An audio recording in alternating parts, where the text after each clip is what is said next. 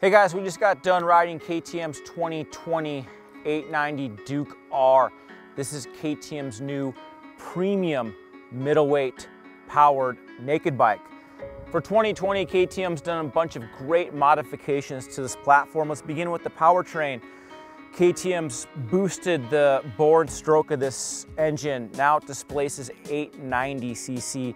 It's still a parallel twin, still dual overhead cam, eight valve cylinder heads, but man, this engine really gets with the program.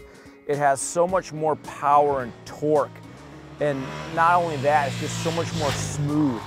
KTM also fitted a significantly heavier crankshaft. And what that does is it gives the engine just more solid response. Just has more acceleration, it feels more sturdy, it has less vibration, and it's just a lot more refined and playful engine than before.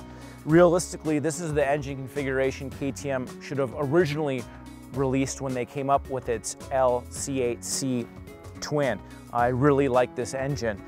Chassis on this motorcycle, I was never a real big fan of the original 790 Duke, but the upgraded suspension components on this motorcycle, boy, they do a really nice job.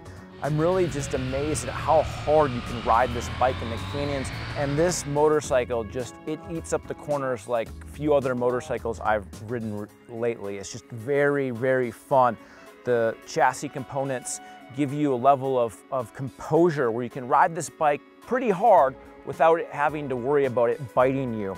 It goes over the bumps fairly well. It still delivers a little bit more of a rough ride over the rough stuff than maybe a more comfortably sprung street bike would, but the, the payback is just the extreme handling prowess when you're, when you're carving turns left and right. The OE fitted Michelin Power Cup tires. Uh, these tires are awesome. I'm never a big fan of Michelin sport tires, but the tires on this motorcycle, they have insane amount of grip, good feel. You can ride this bike extremely, extremely hard without it biting you. Electronics package on this motorcycle, KTM has fitted its latest generation IMU powered motorcycle traction control. And the traction control on this bike is just awesome. Like you can ride the bike very, very, very hard. And when the traction control comes in, it comes in so seamlessly where you feel it, but it's not really taking things back or making the motorcycle any more cumbersome to ride. It, it makes for a very easy riding experience.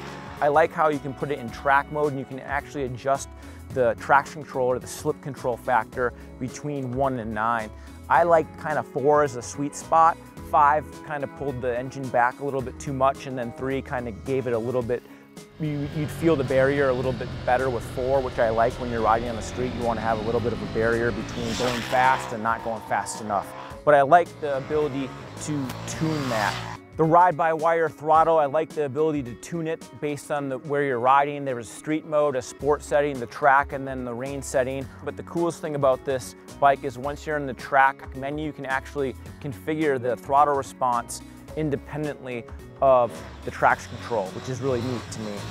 Brakes on this motorcycle are first class. It comes with Brembo's MCS radial master cylinder, and this master cylinder is so cool because you can actually adjust the lever ratio of the lever. So if you want a little bit more braking feel and, and have it be more responsive, you can actually slide it into the 21 millimeter position. And then conversely, if you want the brakes to be a little bit less sensitive when you, when you pull on the lever, you can go to the 19 millimeter setup. I preferred the 21 millimeter, it just gives really sharp response. The Brembo radial mount calipers have a good amount of power, great braking feel. We rode another brand liter class sport bike recently on this stretch of road and the brakes faded on that motorcycle. On this bike, the brakes do not fade. Obviously, you're going a little bit slower just because it has a little bit less power than a liter class sport bike, but still, this motorcycle gets some. With 407 pound curb weight, it's just unbelievably light. The suspension components, like I said, they do a really good job of giving you a good sporty ride, good feel in the corners. And if you're looking for just a top tier middleweight parallel twin powered bike, this KTM 890 Duke R is it. For only a $1,000 upcharge versus the 790 Duke, I don't know why anyone in the world would ever buy the 790 Duke. For $1,000, you can have this thing. It's faster, it's smoother, it handles better, it looks better. And uh, if you're just looking for a really fun, naked bike to ride, this 890 Duke R would be a top of my list. Well guys, that's a wrap from the 2020 KTM 890 Duke R review. Please make sure to subscribe to our channel and like this video if you thought it was cool. Leave us a comment. We always want to see what your thoughts are on these videos.